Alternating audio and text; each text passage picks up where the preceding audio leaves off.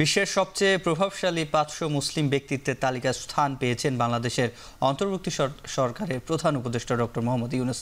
জর্ডানের the royal Islamic strategic studies সেন্টারের দুই সালে তালিকায় শীর্ষ পঞ্চাশ ব্যক্তিত্বের মধ্যে রয়েছেন।